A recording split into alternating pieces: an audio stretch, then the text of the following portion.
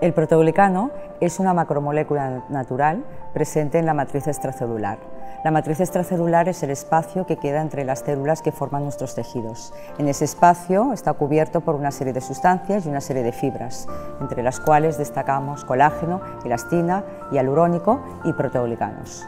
Como su nombre indica, Proteo viene de proteína, glicano de glucano, de glucosa, de azúcares.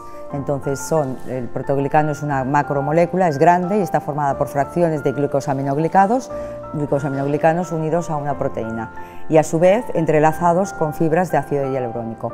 Este entramado de fibras lo que le da es estructura a la piel, es decir, le da firmeza y propiedades elásticas, elasticidad, que se deforme y recupere su posición original.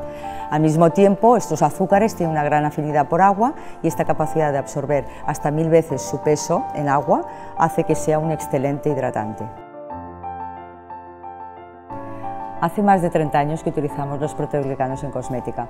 Al principio, como era natural, la única fuente de obtención era el reino animal, de procedencia bovina, pero en Martider quisimos buscar alternativas en el reino vegetal para obtener sustancias lo más parecidas posibles, tanto estructuralmente como sus funciones, al proteoglicano de, origen natural. De esta manera encontramos en la proteína de la soja una fuente de obtención de arabinogalactanos que estructuralmente tienen unas propiedades muy parecidas a los glicosaminoglicanos, a estas fracciones de protoglicano. Por lo tanto, empezamos a introducir el protoglicano de origen vegetal o fitoprotoglicano ya por los años 2000 y últimamente, en nuestros últimos lanzamientos, hemos incorporado un nuevo protoglicano exclusivo de Martider, se llama Proteum 89 Plus y es la máxima evolución del protoglicano.